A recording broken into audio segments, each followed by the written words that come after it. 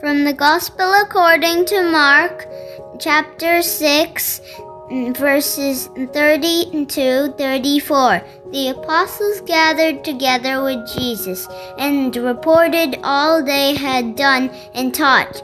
He said to them, Come away by yourselves to a deserted place and rest a while. People were coming and going in great numbers. They had no opportunity to even eat. So they went off in the boat by themselves to a deserted place. People saw them leaving, and many came to know about it. They hastened and there on foot from all the towns and arrived at the place before them.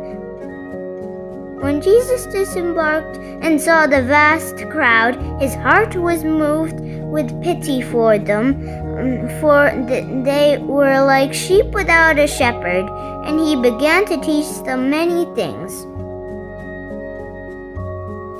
Words of the Holy Father As he landed, he saw a great throng, and he had compassion on them, because they were like sheep without a shepherd.